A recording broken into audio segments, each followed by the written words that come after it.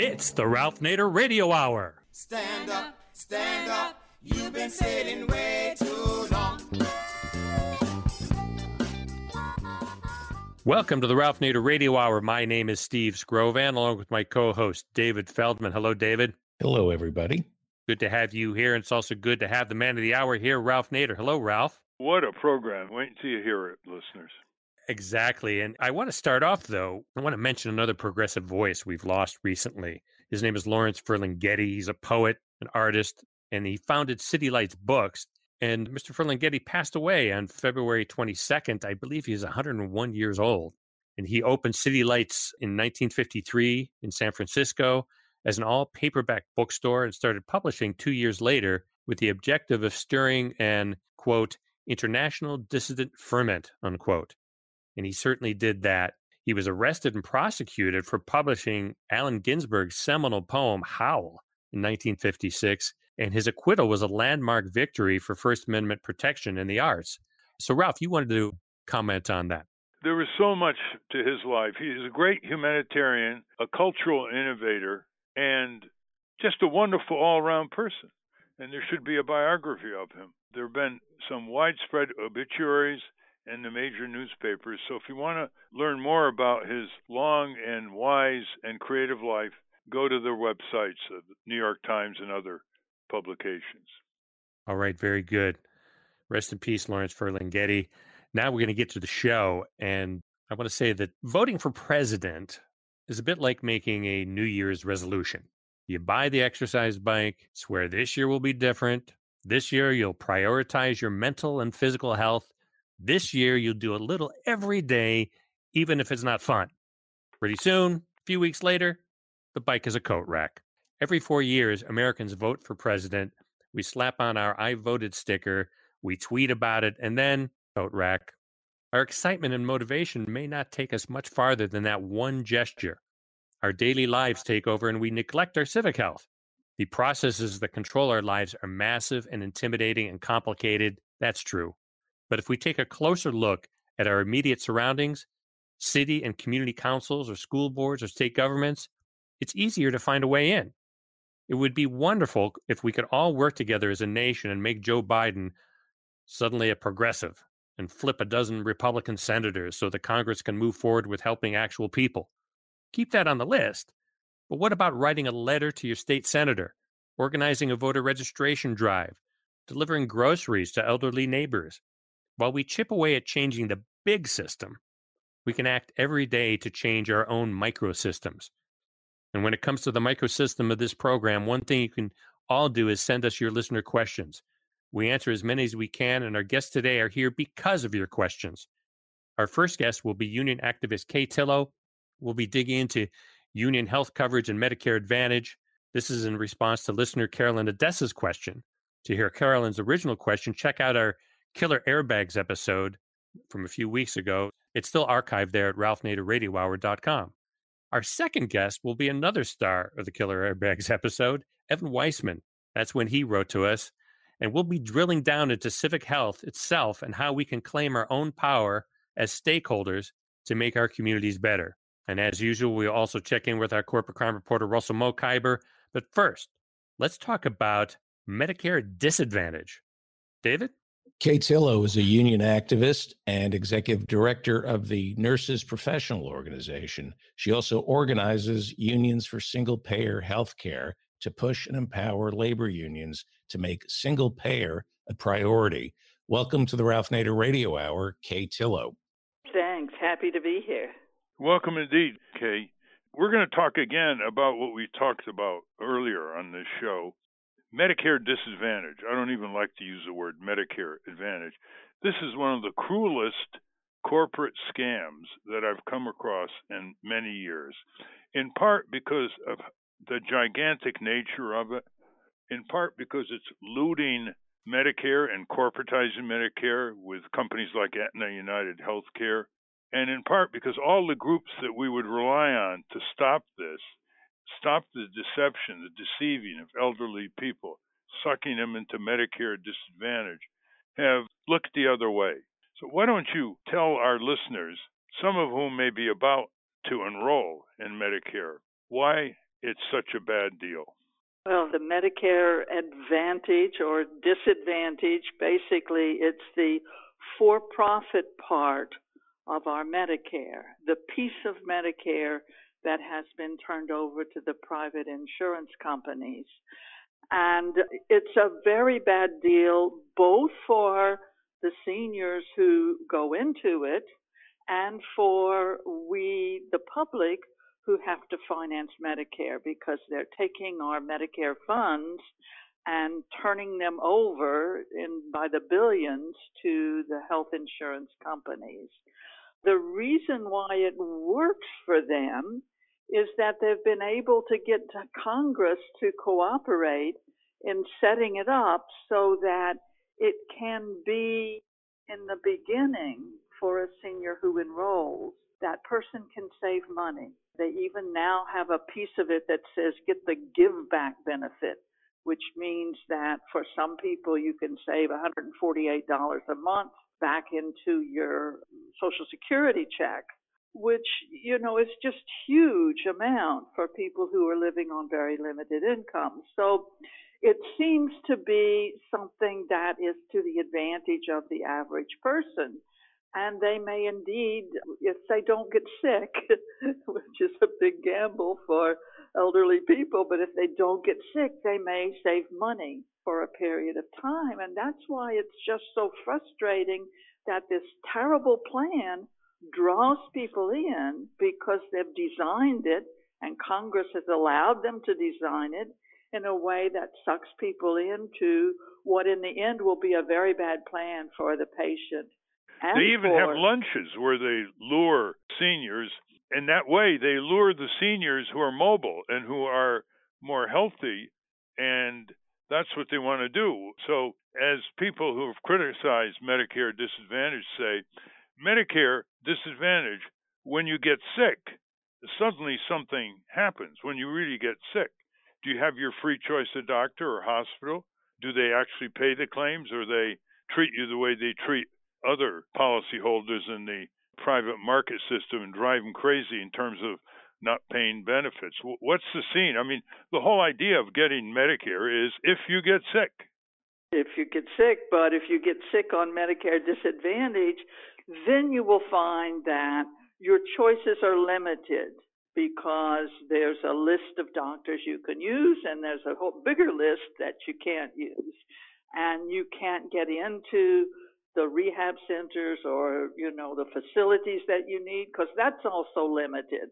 The insurance company is limiting your ability to a network that is very narrow and you will have additional expenses. So the drugs may cost you a fortune once you need expensive drugs. So in the end, you will end up with paying more once you get sick. And that's, of course, how the program is designed.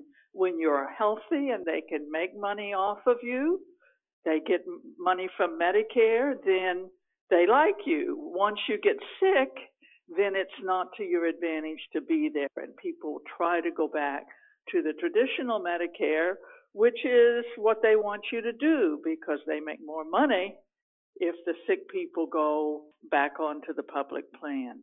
They get rid of them onto the That's traditional right. Medicare.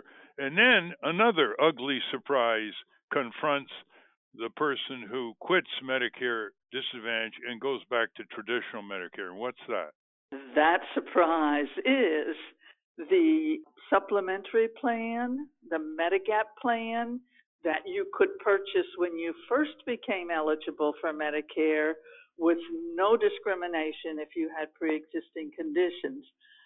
Now is not available to you because the insurance company, the Medigap insurers, can deny you to sell you a policy or can charge you a fortune to get back on. So you're having ventured into Medicare disadvantage, you now can't even get back to the traditional Medicare because you can't buy a Medigap plan that would cover you. And that's what that no one's saying that. Joe Namath doesn't say that in the ads. Joe Namath? What's Joe Namath got to do with this? well, he's the one that they are using as the spokesperson to try to sell these plans. So you can't turn on your TV without hearing an ad to sign up in these Medicare Advantage plans. And whoever's writing the script works to make it sound like there's many, many additional benefits that you will get, and all you have to do is enroll. It's very deceptive, and it should not be allowed. Congress should shut this off and say no more. Yeah, we're going to get to this in a moment in terms of all the watchdogs, so called, that have sold the seniors down the river. People should know 40% of all seniors are now stuck in Medicare disadvantage desperately hoping, if they know anything about how they have been misled, that they don't get sick. 40%. They had a huge push in the last year, scaring all kinds of seniors, mailings, Joe Namath's TV ads. Joe Namath should be ashamed of himself. He's supposed to be avoiding sacks, and instead he's sacking millions of seniors. So 40%.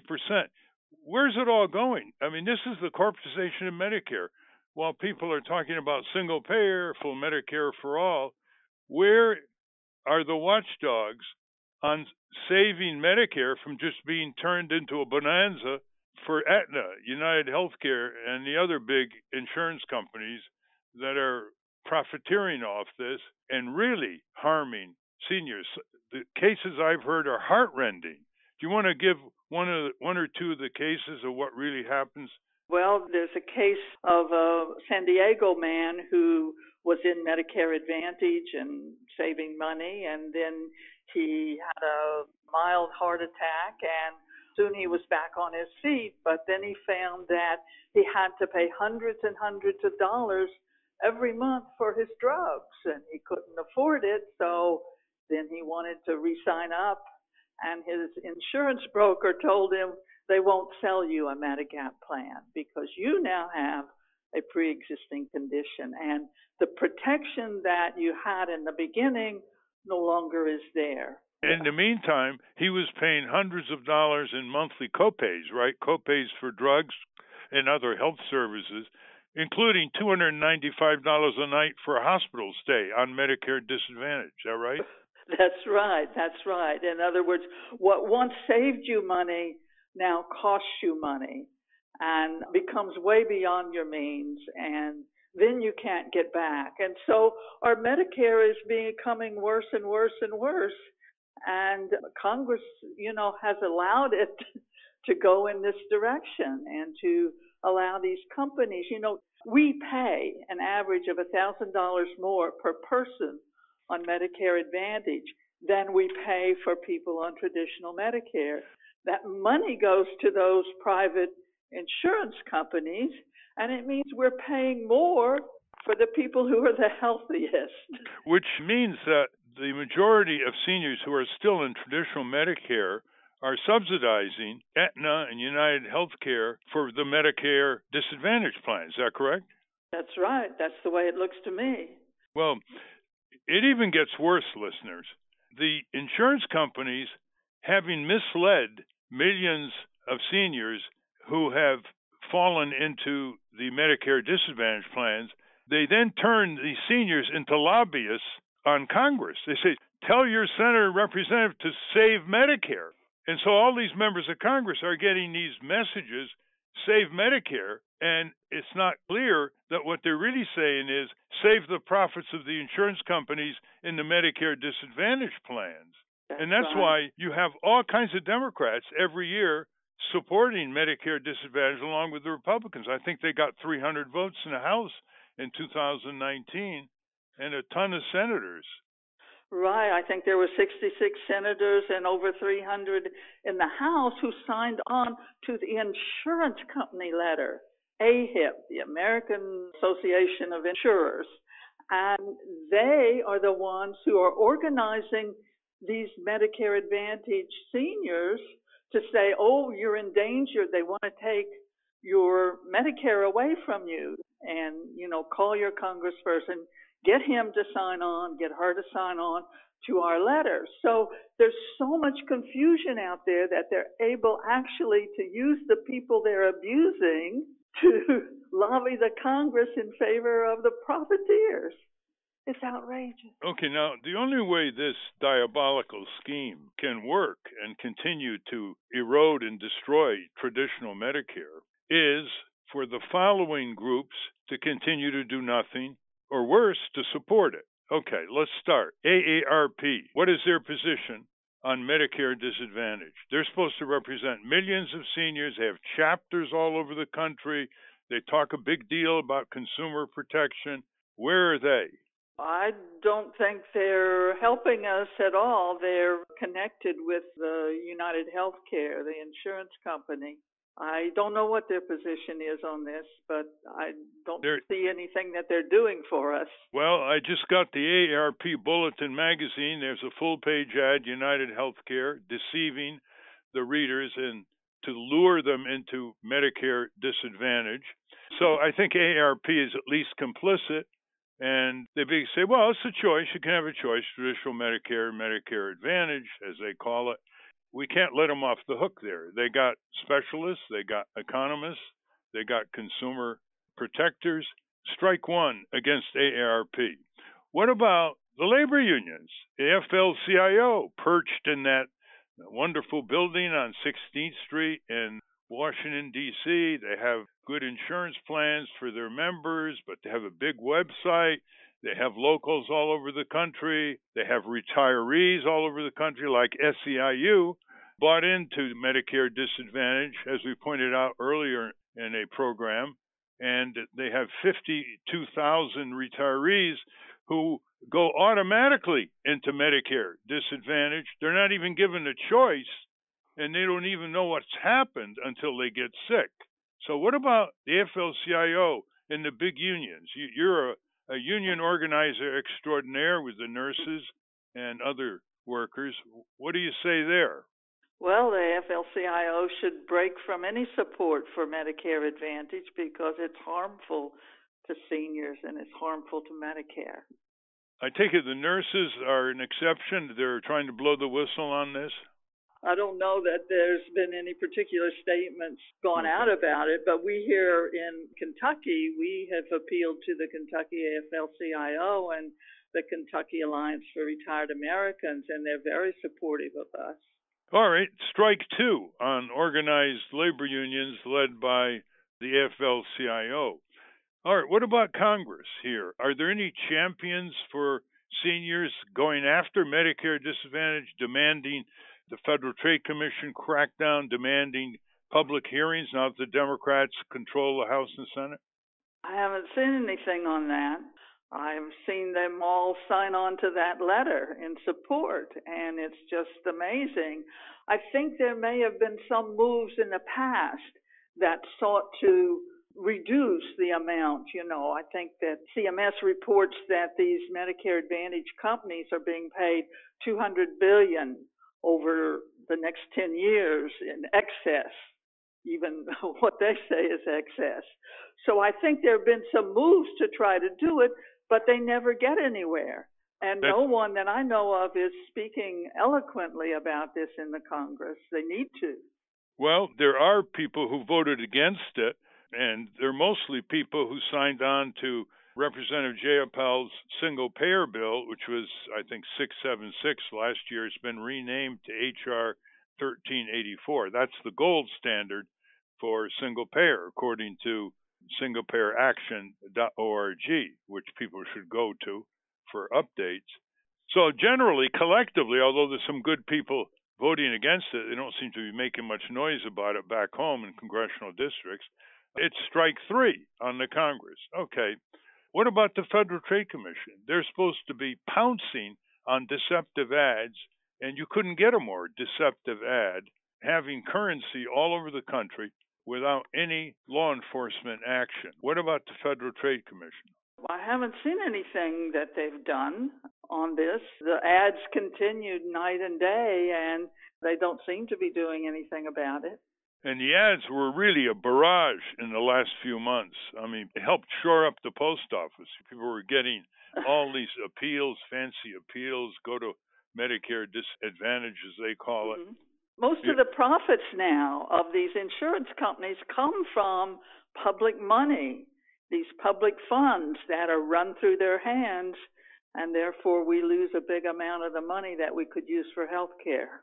Right. And you were saying, what's that $200 billion figure over 10 years? It's 200 billion that CMS, you know, that's the government body that oversees Medicare and Medicaid, says that they're being overpaid by 200 billion over 10 years, the Medicare Advantage companies. So even they know that this is occurring, that it's a ripoff, but they don't move to do anything about it. And I guess every time someone opens their mouth, you know, AHIP does another letter and gets all of the Congress to sign on to. It's it is amazing. They need some backbone.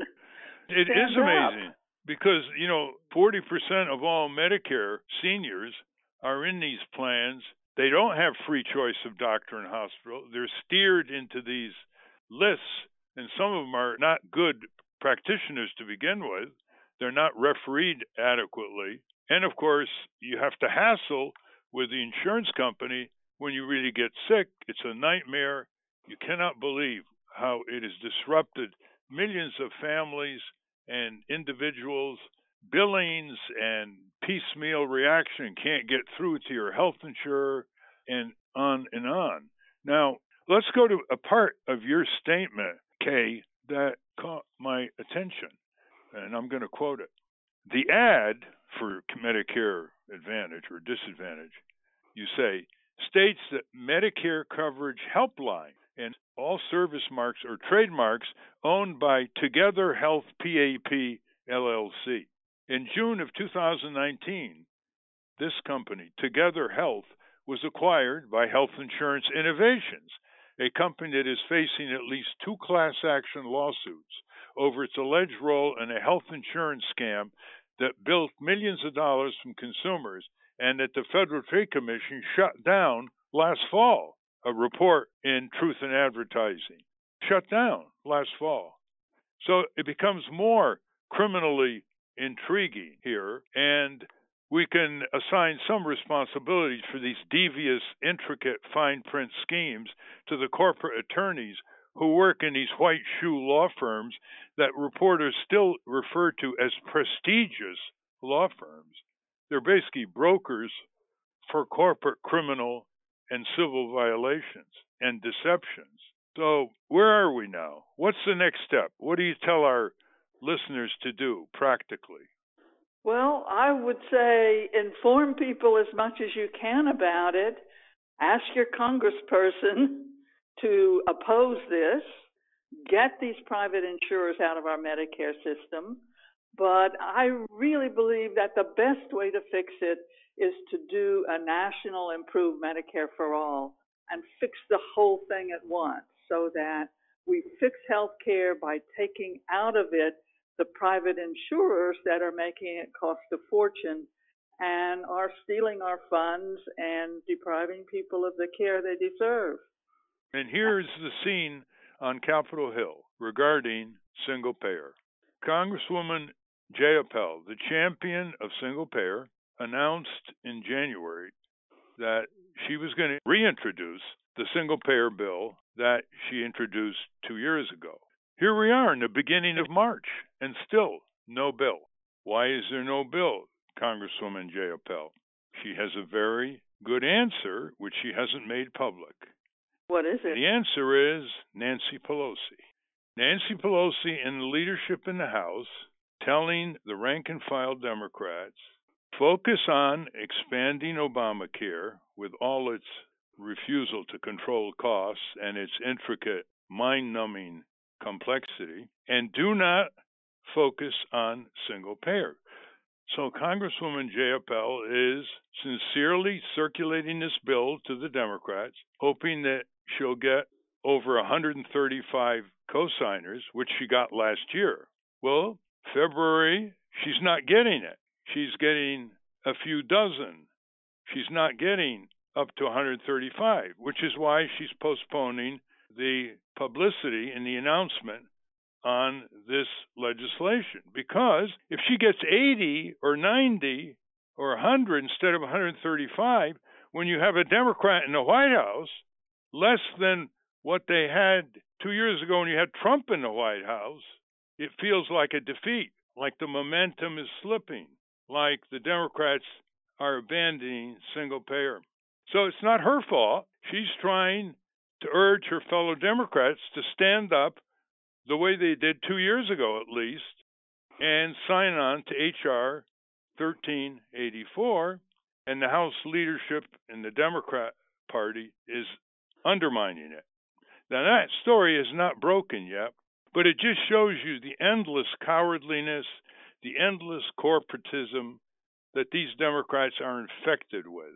And that's the dilemma now she has. So the contrast you just pointed out that the solution to this whole Medicare nightmare called Medicare disadvantage and also the incomplete nature of the traditional Medicare is single payer. Public insurance, everybody in, nobody out, free choice of doctor and hospital, coming in at dramatically lower costs, saving over 100,000 American lives a year, which studies have shown are lost because people cannot afford health insurance in order to get diagnosed and treated in time. What is it going to take, Kay, to raise the indignation level of millions of Americans to say to Congress, time's up, straighten out, join the community of nations that have universal health care, or else you're going to be unemployed? I think people are trying to say that. I think that we now have majority uh, that is for it. The people of our country are not mean and ugly. They want everybody to have health care, the vast majority. And we saw it even in Fox did a poll. It said 72% were for the government responsibility to make sure that everyone had health care. So I think the people are there, but Congress isn't listening to us. And that's that's the problem. Congress, the Democrats and the Republicans have their ears closed when it comes to the real solution, and we have to push more. They have their ears closed and their pocketbooks open, huh? could be. well, your figures are very compelling. In fact, the large majority of Democratic voters are for single payer. Almost 50 50 now among Republican voters. You know, they want the same thing. They want health care. They don't want to have their families denied at a moment of health crisis, illness, sickness, trauma. A majority of nurses want it. A majority of physicians want it. What's wrong with a majority of Congress? The answer, my dear listeners, is one we have talked about again and again. Start a letterhead organization in your district. Nobody can stop you from doing that. Call yourself a Congress watchdog group.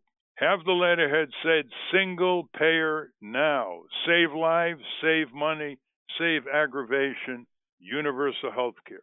And then start getting people in your district, your neighborhood to sign on and demand, summon your senators and representatives to town meetings. First, now under COVID, it's virtual. And when COVID is over, it's actual. But it's virtual, it's easier. It's harder for them to say no to you. Where you face them, you face your senators, two senators and representatives, and you read them what needs to be told. And you say, We want your answer in writing. We want it on your website, Senator, Representative.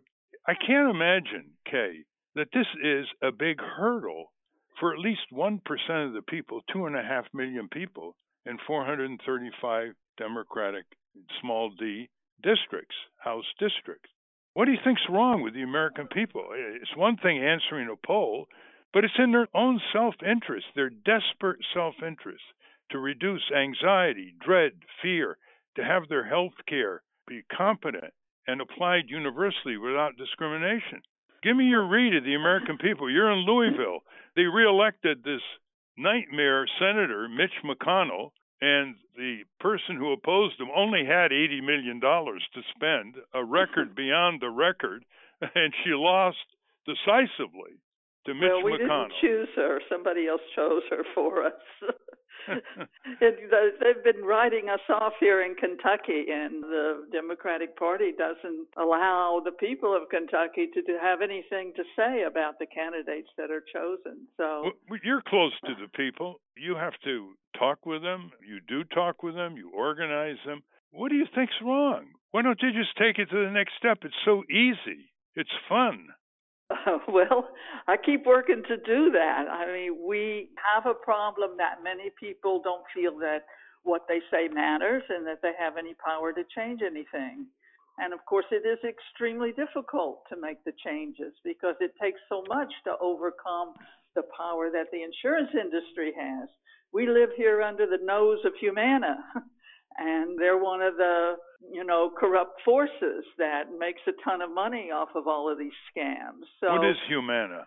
Well, it's a big health insurance company with a big In marble Humana. building, and a Humana, and a big marble building downtown, and they control some jobs. So every time we say single payer, they say you'll lose jobs. So we work very hard to make sure that in the transition to a single payer system that the workers who are working would have a way to continue an income and to be transformed into another job coming out of it because we don't want the working people to be the ones that are hurt by the change. But Humana has to go as a health insurance company because they make money from the denial of care. That is the That's basis. the point.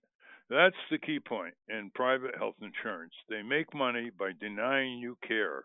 Other companies make money by selling you stuff, but they make more money by denying you care and pocketing the premiums and paying out less for your health care. Let's examine your point here where you say it's so difficult. I don't think it's that difficult. When I was going in and out of congressional offices before the COVID, they would never tell me they're getting floods of demands from the people back home for single payer. First of all, the, media doesn't cover that.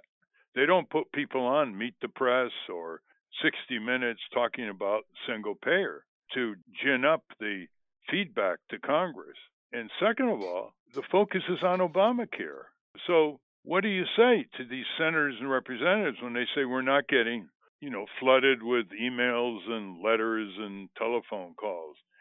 What you say to them is, give us a few weeks. We'll show you. Once we organize these Congress watchdog groups, we'll see that letterhead is going to grow and it's going to expand and it's going to get you to these virtual town meetings. You see, once you get to that step, Kay, it doesn't become that insuperable because there's already about 170 175 members of Congress that want single payer. I mean, you, you know, you're not starting from scratch. But the excuse is Obamacare, that's one excuse. And the other excuse is we're not hearing these demands.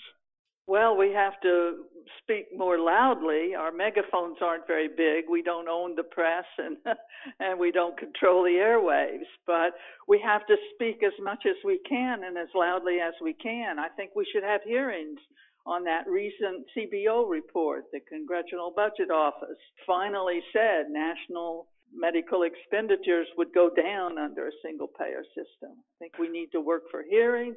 We need to work for all of the things that we can, and we need to expose the fact that the Affordable Care Act cannot be fixed because inherent in it is this private for profit insurance ripoff that continues to deny care and keeps us from getting to a system where our money actually goes for care instead of to the insurance companies. And Affordable Care Act is colloquially called Obamacare, in case listeners didn't know that distinction. well, when you talk about congressional hearings to people, they think Washington based, but they don't know that members of Congress can have hearings, public hearings back home. For example, Congressman John Yarmuth, he's a very powerful congressman. He is now chairman of the House Budget Committee, as he you is know. indeed. and he's fairly progressive. So you say, Congressman Yarmuth, why don't you have in the spring a virtual hearing back in Louisville? See how it begins to change the dynamic. Well, I'd be glad to do that. I think that that's a great idea. We've asked him to hold hearings in the budget committee on the CBO and you know the formulations that came out of that. We think that we have to do everything we can to get single payer onto the national agenda. I mean, they keep it off all of the time. They just, you know, they arrested people, you know, in 2009 because they wanted to talk about single payer. And now, you know, it's very difficult to get it back again. People just say, well, Biden's not for it, and so we're going to do something else.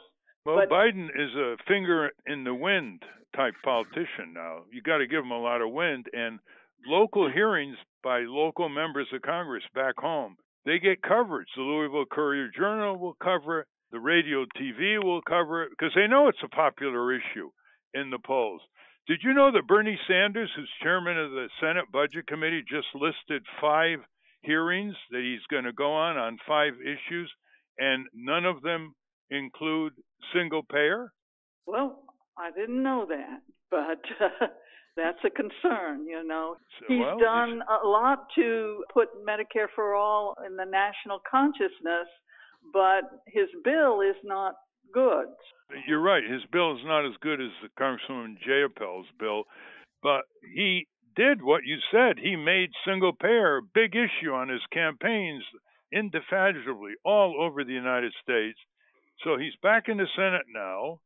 He sees Biden threatening to veto a single payer bill last year during the campaign, and he's saying, why waste time? Let's focus on other pressing things that might get through the Senate.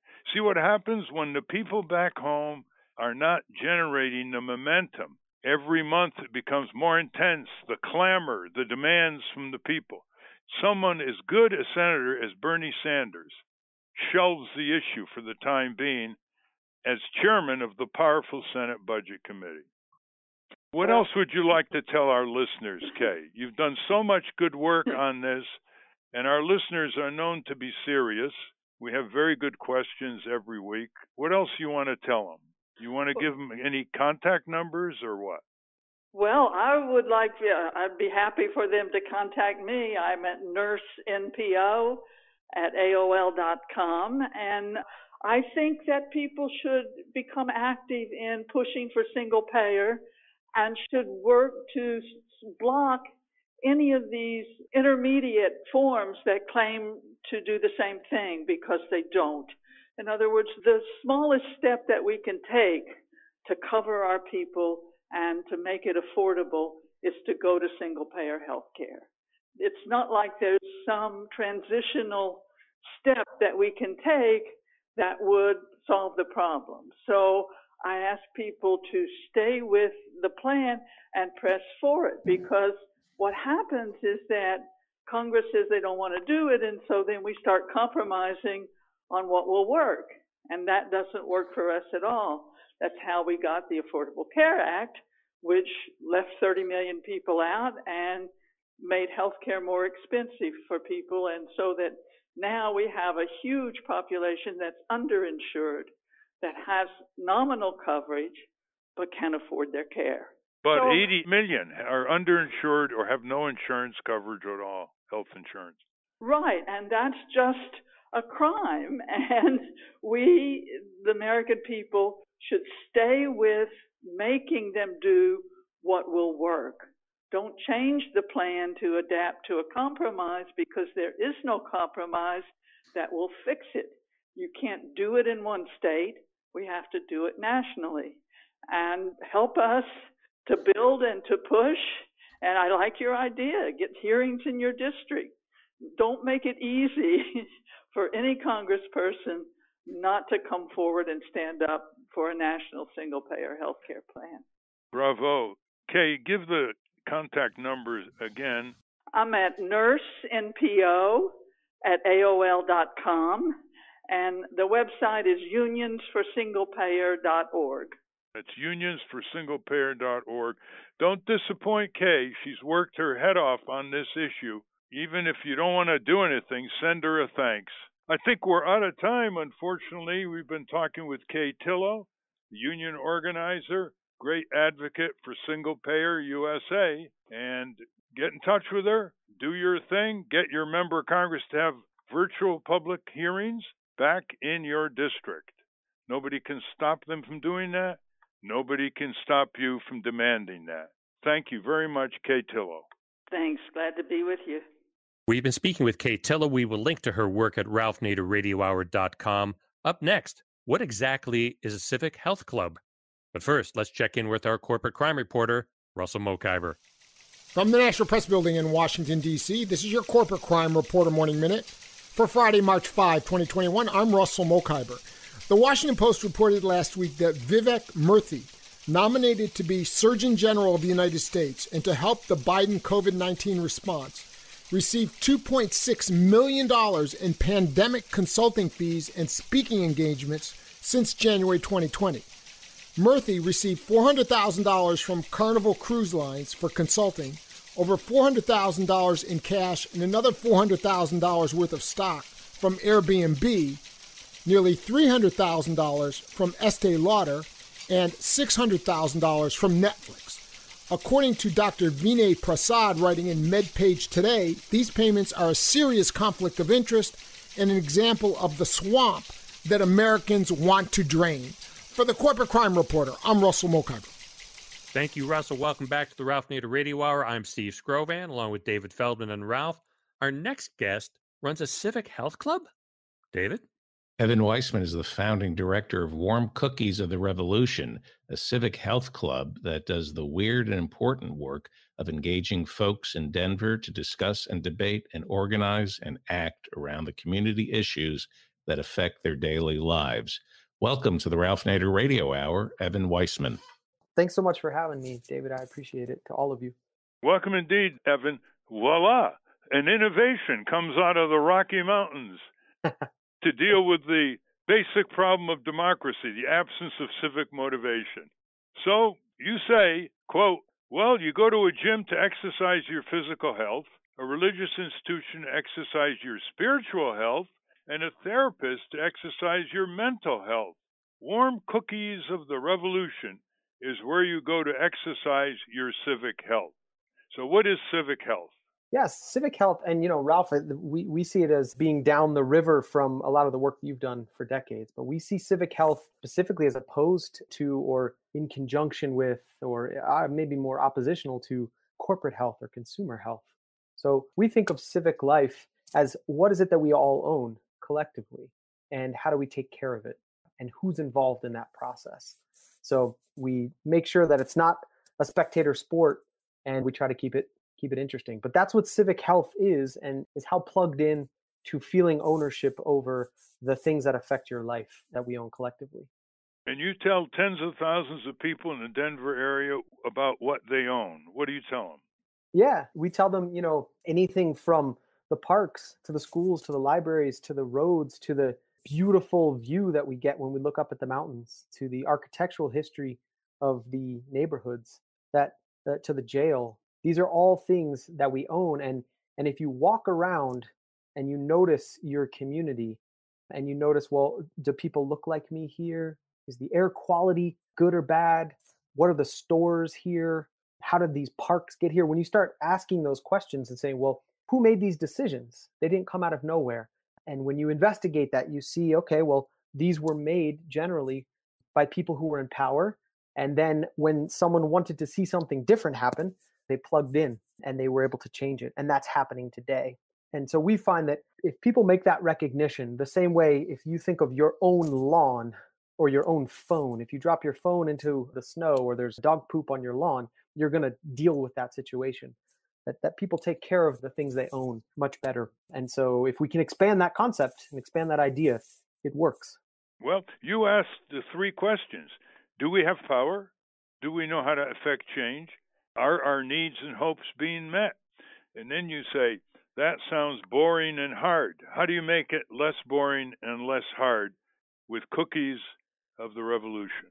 Yeah, that's exactly what we're looking at. Because if you look at who shows up traditionally in civic spaces, and, and again, we're working in a, in a city for the most part, though we're doing some rural work now and we hope to expand it.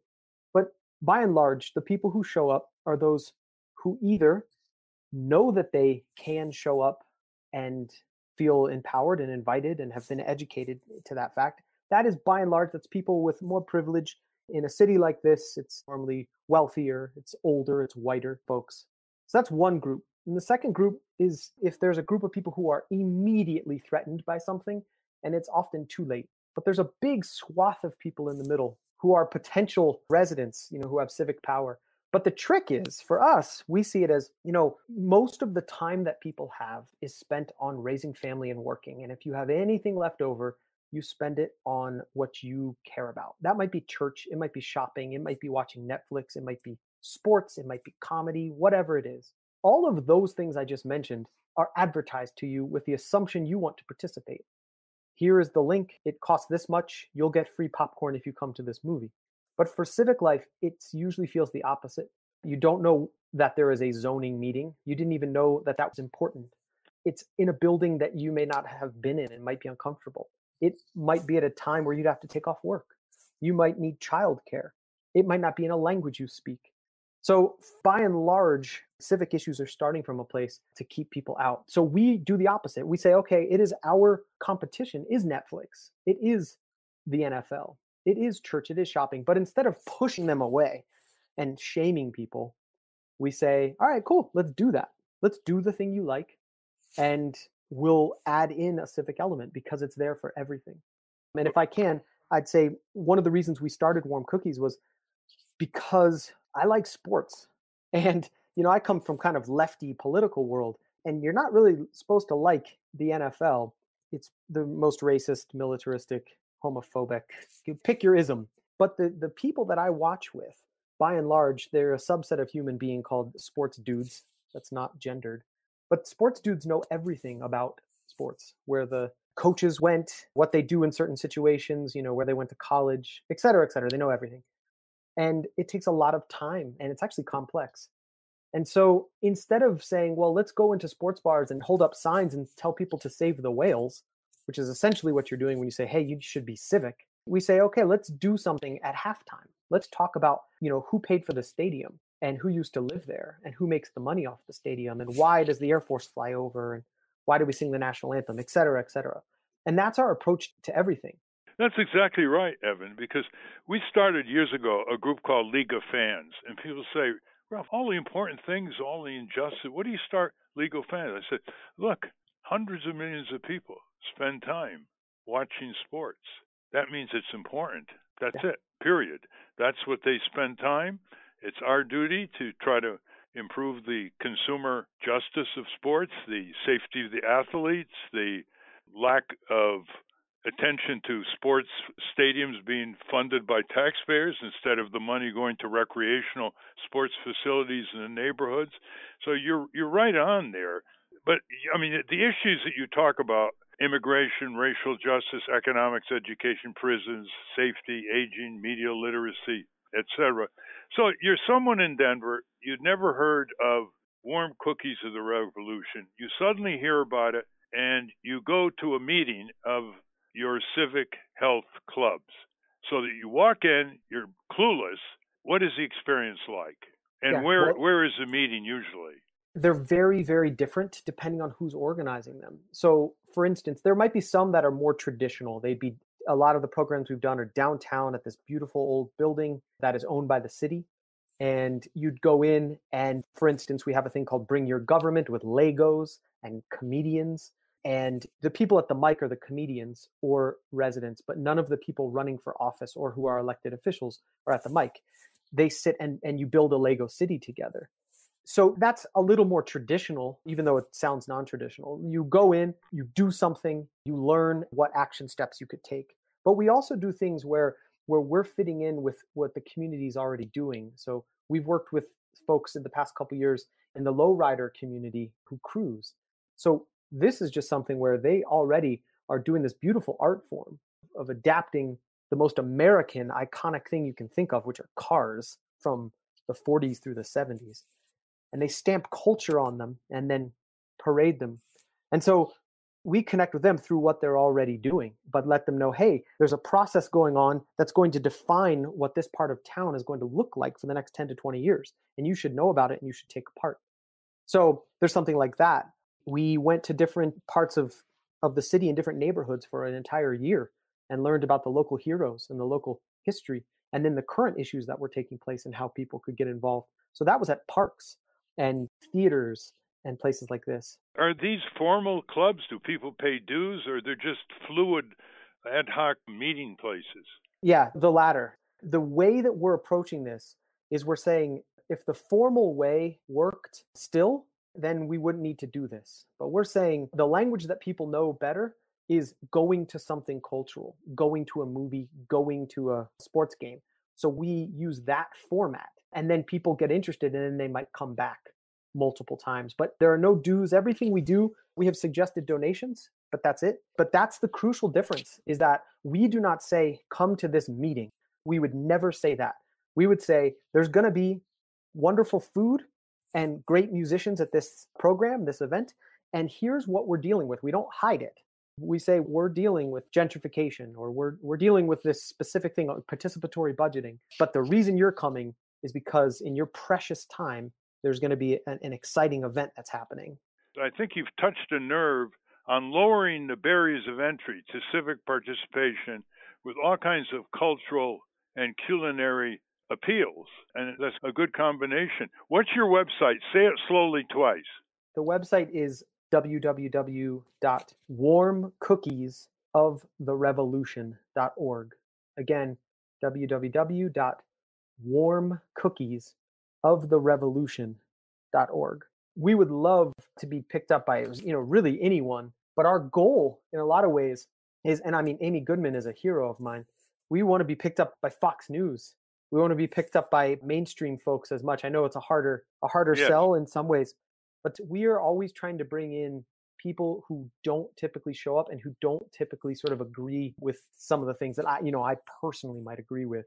And that's one of the things that we are proud of is that over the years, you know, 70% of the people that come are women, almost 70% are under the age 45, and almost 70% are from the low and middle income bracket and that 72% take some kind of civic action as a result. And so that's who who we really are aiming to engage. Well said. I'm glad you pointed that out. And you might want to contact our corporate crime reporter, Russell Mokhiber, has a website in rural West Virginia. It's called Morgan County USA.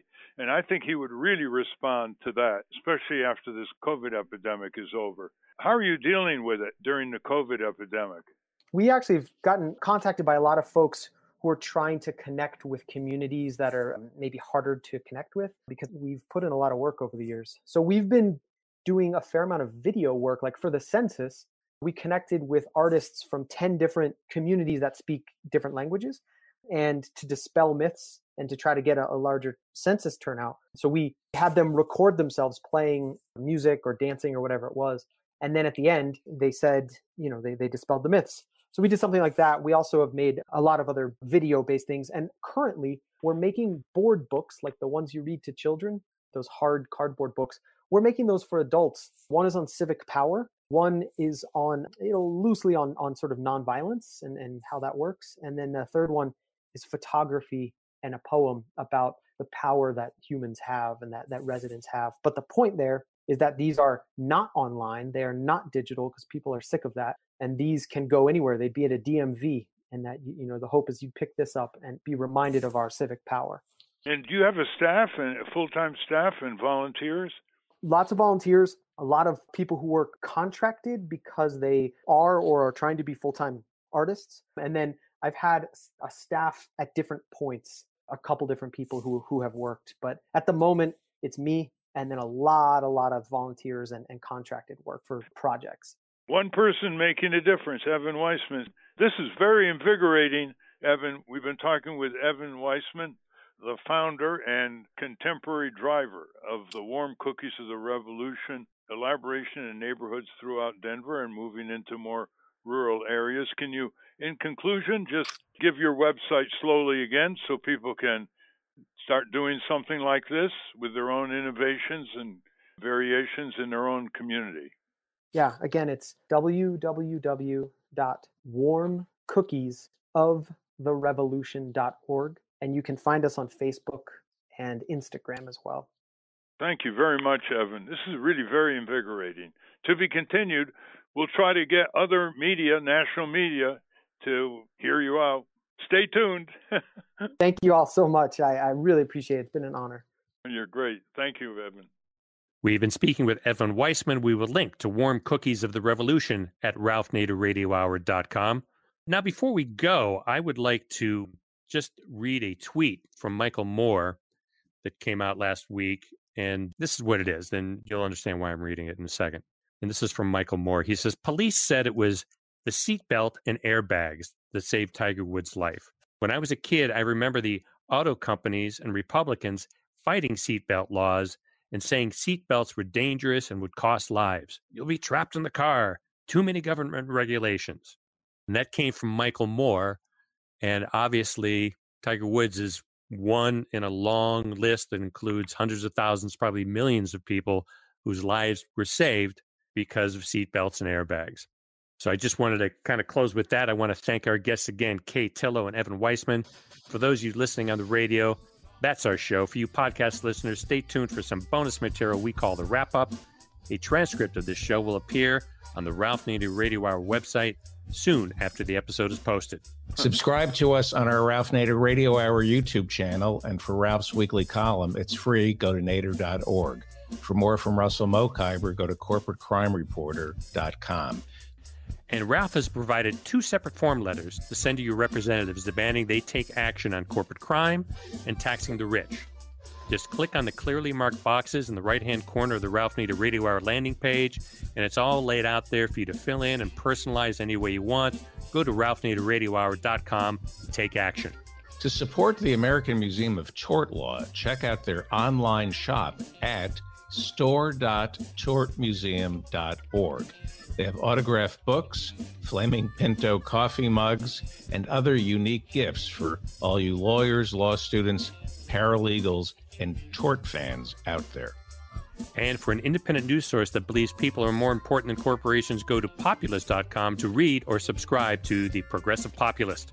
The producers of the Ralph Nader Radio Hour are Jimmy Lee Wirt and Matthew Marin. Our executive producer is Alan Minsky.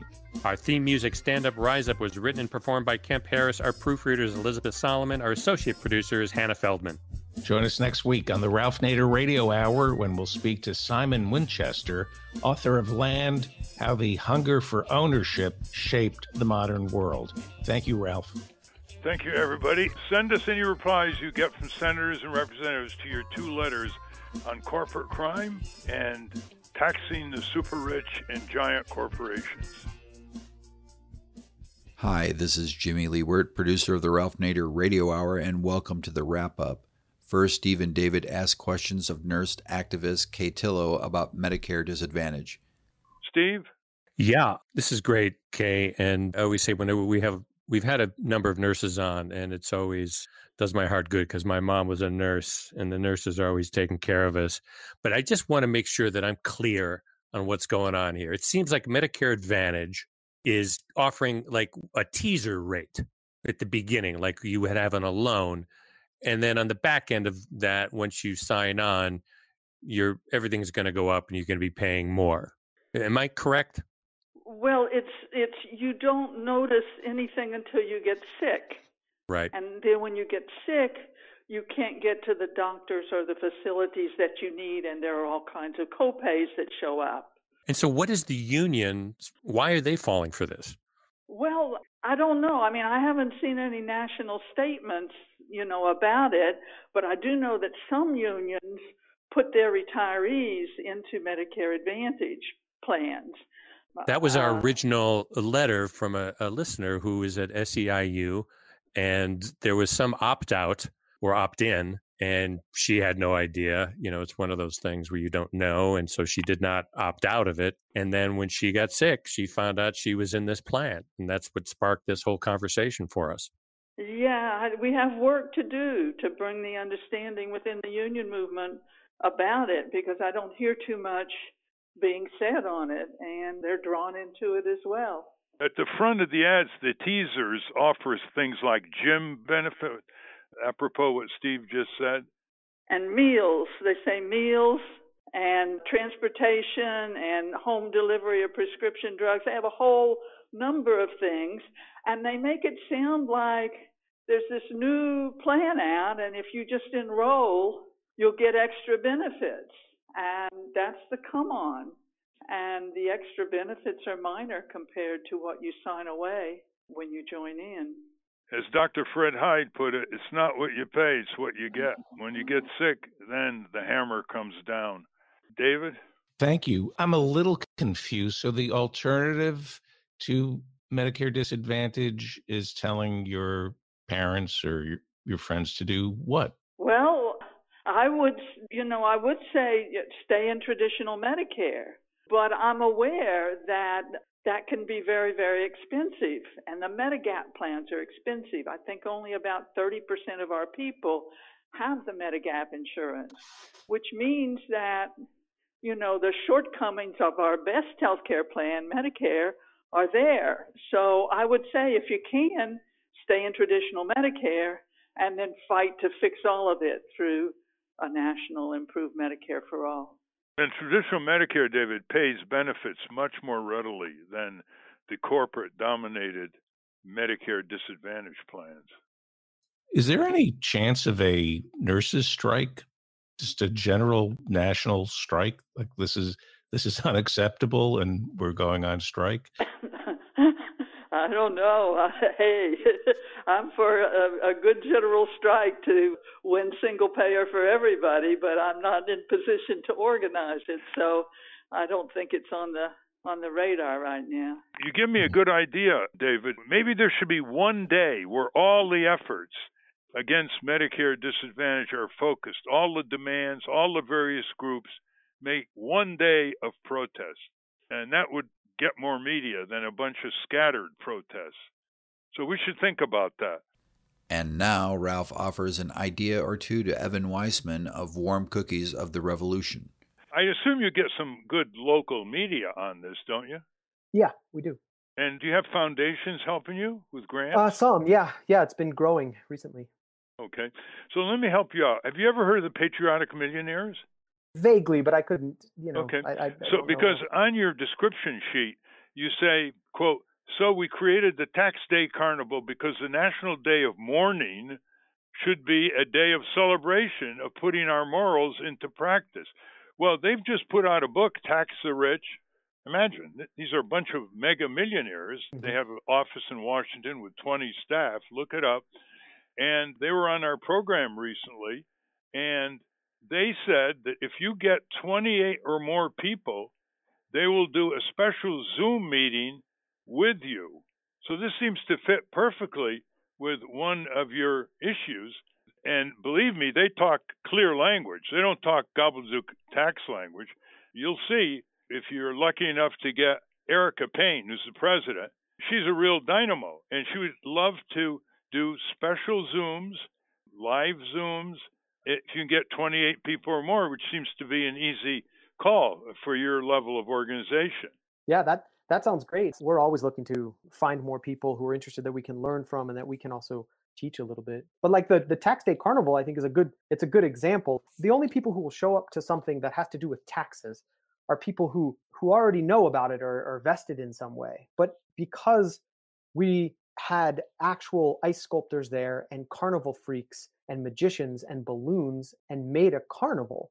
We also then told all of the tax nerdy groups who were very important, we said, you can't come and just bore people. We're going to work with you to come up with a game, a carnival game, and a way for you to get the information across. A precursor, Evan, we're talking to Evan Weissman of the Warm Cookies of the Revolution initiative that he founded years and years ago, you know, farmers got together on real economic issues against the railroads and the banks and the populist movement in the late 19th century. But they did it with music, food, dancing, all kinds of cultural appeals to get these farmers to get on their horses or to walk long distance where the Grange's place was located. So there is a tradition here that you're expanding. You say you've created 150 unique programs and you host multiple events per month, including hands on activities at the Denver Art Museum final Friday, become cultural partners with the city of Denver. How about that? And regular contributors in a host of community programs at the Denver Public Library, the Colorado History Museum, and you've also engaged, educated, and performed for residents on a ridiculous amount of issues with an embarrassing amount of artists and community organization. And we've served a record setting amount of cookies and milk. Evan, before we get to the quality of the cookies and milk, you know, I get down to the details here. Yeah, yeah. Let me say that one of your issues is public participation in city budgets. And there happens to be a large city, I think it's in Colombia, South America, which has led the world in public participation in budgeting, has a very progressive mayor. And you can get that information by going to the Kettering Foundation website, and they have a magazine called Connections. And a few years ago, they had a whole story on this that was really exciting to read how this mayor multiplied himself in so many ways to get people actually to participate in the formation of the annual city budget. Have you ever heard of the Kettering Foundation? I have, yes. Okay, so that's another tie That's for great. you. Now, And- let's talk about cookies. I believe if you're going to have cookies and milk, you should have nutritious cookies that are delicious. And instead of milk from dairy cows, why not try hemp milk as well? You, So, you've, uh, what's the nature of the cookies? The nature of the cookies are you're not going to believe this, but we have one baker who volunteers and he makes cookies for everything. And it's his way of giving back. His name is Isaiah. And the cookies he have are some people come literally just for his cookies. So he bakes vegan, gluten free, and traditional cookies from classic chocolate chip to some very weird flavors like blueberry scones and other things like that. And in terms of the milks, yes, we, we always have cow milk and non cow milk flavors, almond, soy, but yeah, we try to be as accessible as possible for everything, including language. And Let me put a plug in for my mother's recipe called Okay. 222. You Okay. know, two cups of this flour, two cups of raisins, two cups of walnuts, two cups of wheat germ. It's a spectacular cookie. It's uh, the recipes in our new book, the Ralph Nader and Family Cookbook, if I can make a plug for that. Yeah. But this is good. It's good to have something that tastes good, but it's good for you as well. Have you ever gotten on public broadcast TV, PBS? Have you gotten on NPR? I mean, this Only seems locally. like something people can pick up all over the country. Yeah, only locally have we been on local PBS and NPR affiliates. How many years you been at this? Officially, we started in 2012, so we've been doing little stuff before that. But yeah, so it's been about you know nine years where it's been full on. And so yeah, we're we're hoping part of what we're doing is expanding this model, the Civic Health Club model, so that in other communities it wouldn't be warm cookies of the revolution. It would be whatever they want to call it and what however they want to run it. Have any other communities picked it up yet?